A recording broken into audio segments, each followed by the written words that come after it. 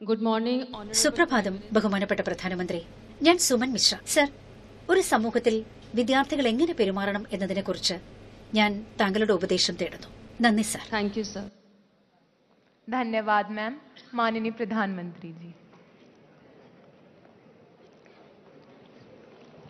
Student society में कैसे behave करे यही पूछना है ना आपको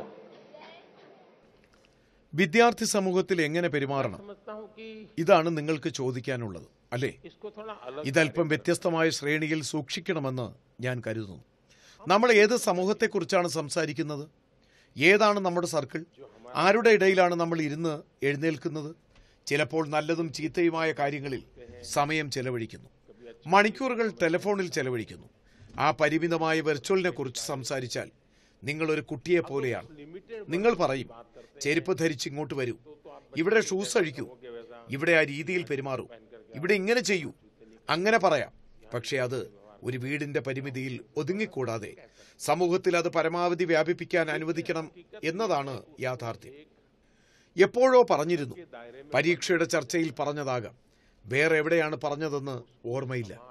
പത്താം ക്ലാസ് അല്ലെങ്കിൽ പന്ത്രണ്ടാം പരീക്ഷ കഴിഞ്ഞാൽ മാതാപിതാക്കൾ കുട്ടിക്ക് കുറച്ച് പണം നൽകണമെന്നും അഞ്ച് ദിവസത്തേക്ക് അവന്റെ സംസ്ഥാനത്തെ ചില സ്ഥലങ്ങൾ സന്ദർശിച്ച് ഫോട്ടോഗ്രാഫുകളും വിവരണങ്ങളും എഴുതി നൽകണമെന്നും ഞാൻ പറഞ്ഞിരുന്നു.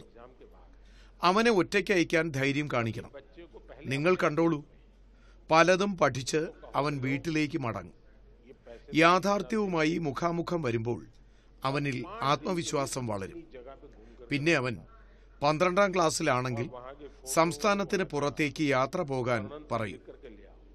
ഇത്രയും പണമുണ്ടെന്ന് അവനോട് പറയുക. റിസർവേഷൻ ഇല്ലാതെ ട്രെയിനിൽ പോകണം. നിങ്ങളുടെ യാത്രയ്ക്ക് ഇത്രയും ലഗേജും ഭക്ഷണവും പാക്ക് ചെയ്യുമെന്ന്.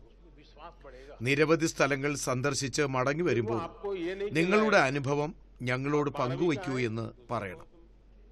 ഇങ്ങനെ നിങ്ങൾ നിങ്ങളുടെ കുട്ടികളെ പലപ്പോഴായി പരീക്ഷിച്ചു കൊണ്ടിരിക്കണം സമൂഹത്തിന്റെ വിവിധ മേഖലകളിലേക്ക് പോകാൻ അവരെ പ്രോത്സാഹിപ്പിക്കണം.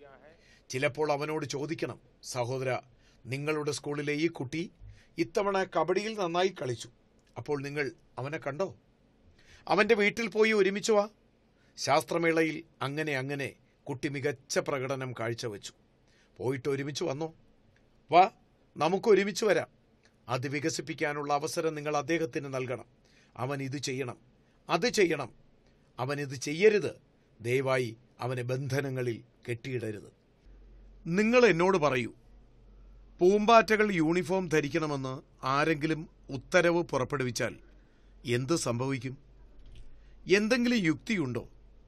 കുട്ടികളെ വളരാൻ നാം അനുവദിക്കണം. അവരെ പുതിയ മേഖലകളിലേക്ക് കൊണ്ടുപോകണം.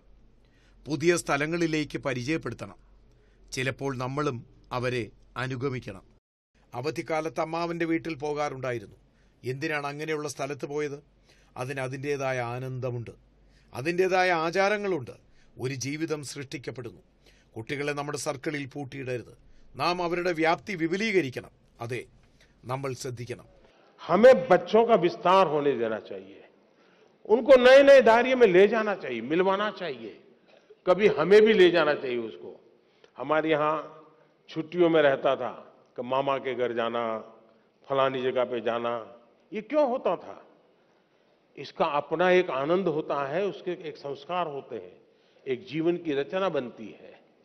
हम अपने दायरे में बच्चों को बंद मत करें। हम जितना ज़्यादा उनका दायरा बढ़ाएँगे हाँ हमारा ध्यान रहना चाहिए।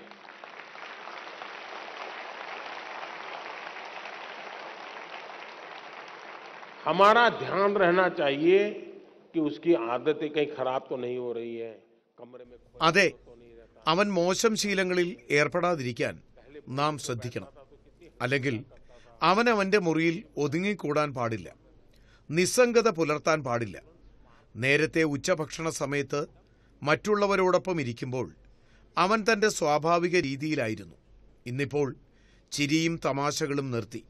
എന്താണ് പ്രശ്നം? ഇത്തരം സമയത്ത് മാതാപിതാക്കൾ പെട്ടെന്ന് തന്നെ പ്രതികരിക്കണം. കുട്ടികൾ ദൈവത്തിന്റെ ദാനമാണ്. അവരെ സംരക്ഷിക്കുകയും പ്രോത്സാഹിപ്പിക്കുകയും ചെയ്യേണ്ടത് നമ്മുടെ ഉത്തരവാദിത്തമാണ്. ഇതാണ് അന്തസത്തയെങ്കിൽ സ്വാഭാവികമായും നല്ല ഫലങ്ങൾ ഉണ്ടാകും.